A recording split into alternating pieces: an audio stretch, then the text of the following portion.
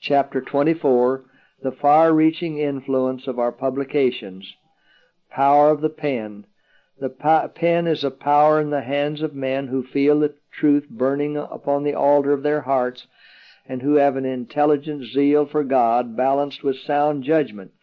The pen dipped in the fountain of pure truth can send the beams of light to dark corners of the earth, which will reflect its rays back, adding new power and giving increased light to be scattered everywhere. Life Sketches, page 214. The Press, God's Instrumentality. The press is a powerful means to move the minds and hearts of the people. The press is a powerful instrumentality which God has ordained to be combined with the energies of the living preacher to bring the truth before all nations, kindreds, tongues, and peoples. Many minds can be reached in no other way. Christian Experience, pages 225 to 27. The publishing branch of our cause has much to do with our prayer. I do desire that it shall accomplish all that the Lord designs it should. If our bookmen do their part faithfully, I know from the light God has given me that the knowledge of present truth will be doubled and trebled. Life Sketches, page 446 and 447. Influence of our publications. I have been shown that our publications should be printed in different languages and sent to every civilized country at any cost. What is the value of money at this time in comparison with the value of souls? I have been shown that the press is powerful for good or evil.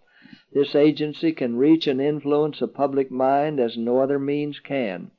The press controlled by men who are sanctified to God can be a power indeed for good in bringing men to the knowledge of the truth. In other lands, I have been shown that the publications already have been doing a work upon some minds in other countries in breaking down the walls of prejudice and superstition.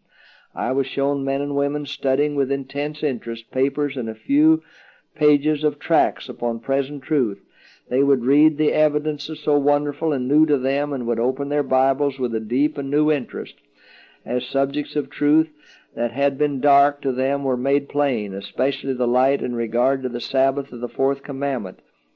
As they searched the Scriptures to see if these things were so, a new light shone upon their understanding, for angels were hovering over them and impressing their minds with the truths contained in the publications they had been reading. Searching with prayer and tears, I saw them holding papers and tracts in one hand and the Bible in the other, while their cheeks were wet with tears, and bowing before God in earnest, humble prayer to be guided into all truth, the very thing He was doing for them before they called upon Him. And when the truth was received in their hearts, they saw the harmonious chain of truth. The Bible was to them a new book. They hugged it to their hearts with grateful joy, while their countenances were all aglow with happiness and holy joy. These were not satisfied with merely enjoying the light themselves. They began to work for others. Some made great sacrifices for the truth's sake and to help those of the brethren who were in darkness.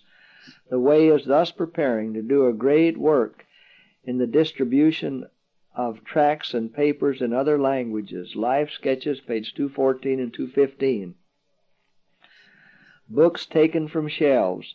It is true that some who buy the books will lay them on the shelf or place them on the parlor table and seldom look at them. Still God has a care for His truth, and the time will come when these books will be sought for and read. Sickness or misfortune may enter the home, and through the tr- truth contained in the books, God sends to troubled hearts peace and hope and rest. His love is revealed to them, and they understand the preciousness of the forgiveness of their sins. Thus the Lord cooperates with his self-denying workers. Volume 6, page 313 and 314. Souls brought to Christ. Our publications are now sowing the gospel seed and are instrumental in bringing as many souls to Christ as the preached word. Whole churches have been raised up as a result of their circulation. Review and Herald, June 10, 1880. Even the fragments are precious we should treat as a sacred treasure every line of printed matter containing present truth. Even the fragments of a pamphlet or of a periodical should be regarded as of value. Who can estimate the influence that a torn page containing the truths of the third angel's message may have upon the heart of some seeker after truth? Let us remember that somebody would be glad to read all the books and papers we can spare. Every page is a ray of light from heaven to shine into the highways and the hedges, shedding light upon the pathway of truth. In the miracle of feeding the multitude with a few loaves and fishes, the food was increased as it passed from Christ to those who accepted it. Thus it will be in the distribution of our publications. God's truth, as it is passed out, will multiply greatly. And as the disciples, by Christ's direction, gathered up the fragments which remained, that nothing should be lost, so we should treasure every fragment of literature containing the truth for this time. Review and Herald, August 27, 1903. A thousand in one day. God will soon do great things for us if we lie humble and believing at His feet. More than one thousand will soon be converted in one day, most of whom will trace their first convictions to the reading of our publications. Review and Herald, November 10, 1885. When the final warning is given. By thousands of voices all over the earth the warning will be given. Miracles will be wrought, the sick will be healed, and signs and wonders will follow the believers. Satan also works with lying wonders, even bringing down fire from heaven in the sight of men. Thus the inhabitants of the earth will be brought to take their stand. The message will be carried not so much by argument as by the deep conviction of the Spirit of God. The arguments have been presented, the seed has been sown, and now it will spring up and bear fruit. The publications distributed by missionary workers have exerted their influence, yet many whose minds were impressed have been prevented from fully comprehending the truth or from yielding obedience. Now the rays of light penetrate everywhere, the truth is seen in its clearness. A large number take their stand upon the Lord's side. Great Controversy, page 612. God's plan for proclaiming the message. To us as a people God has given great light, and He calls upon us to let it shine forth to those in darkness. By us the light, the power of a living truth is to be given to the world. From us there is to shine forth to those in darkness a clear, steady light, kept alive by the power of God. We are charged to use the light given us to create other lights, that our fellow men may rejoice in the truth. Let us not disregard the charge. Suppose that the sun should refuse to shine, what terrible darkness and confusion would result. For us to refuse to let our light shine to those in darkness is to contract guilt, the magnitude of which cannot be computed. The Spirit and the bride say, Come, and let him that heareth say, Come, and let him that is athirst come, and whosoever will, let him take of the water of life freely. These words outline God's plan for the promulgation of the gospel. His instrumentalities, divine and human, are to unite in an effort to save the lost. These souls are to be rescued from the bondage of sin. God calls upon those who have taken His name to obey His orders. All are called to take some part in His work. Transforming power of truth. It is through the transforming influence of divine grace on human hearts that the power of the word of truth is revealed. The message proclaimed in regions where it has not yet been heard makes an impression on hearts. It seems to have greater power in transforming character than when presented to those who are familiar with its office work. Truth has little power on the hearts of those who walk contrary to it for advantage to themselves those who follow a course opposed to its principles. Such ones profess to believe the Word of God, but they give no evidence that they are sanctified by it. The truth is to take possession of the will of those who have never before heard it. They will see the sinfulness of sin, and their repentance will be thorough and sincere. The Lord will work upon hearts that in the past have not been appealed to, hearts that heretofore have not seen the enormity of sin. Christ is the only successful antagonist that sin has ever encountered. Let the full light of His life stream into the souls of those who are in darkness. Under the direct power of the gospel, thousands have been converted in a day.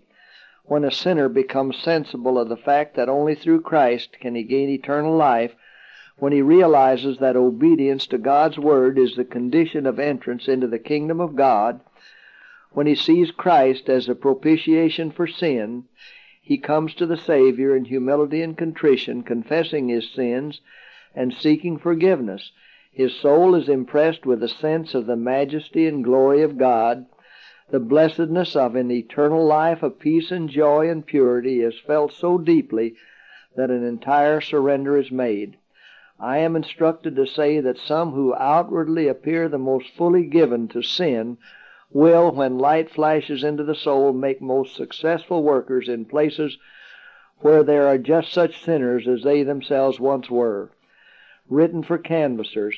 I write this because those engaged in canvassing work and in house to house labor often meet men and women who are coarse and forbidding in outward appearance, but who, if won to the truth, will be among its most loyal and stanch adherents. The Spirit of truth is indeed of value in any church. Those whom the Lord uses may not always have outward polish, but they, if they have integrity of character, the Lord accounts them precious. God's work to increase as end draws near.